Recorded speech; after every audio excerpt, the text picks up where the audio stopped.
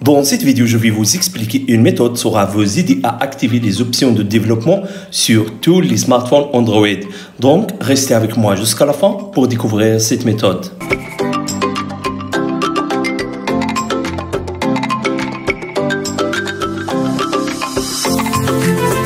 Salut à tous, j'espère que vous allez bien. Aujourd'hui, on se retrouve dans une nouvelle vidéo. Je vais vous expliquer comment activer les options de développement facilement et rapidement. Et avant, si c'est la première fois que vous voyez mes vidéos, s'il vous plaît, abonnez-toi sur ma chaîne. Aussi, activez le bouton de la cloche pour recevoir les nouvelles vidéos. Donc, pour activer les options de développement, juste suivez ces étapes. Première chose, allez à paramètres de votre smartphone Ensuite, allez directement à Options à propos de téléphone. Donc, appuyez sur l'option, puis soit apparaître avec vous cette page. Donc, allez à Options Information sur logiciel. D'accord?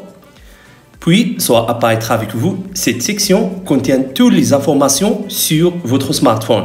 Mais ce qui est très important pour nous, c'est cette option de numéro de version donc, appuyez 5 fois sur l'option, comme ça, jusqu'à s'apparaître avec vous cette fenêtre de l'activation de mode de développeur.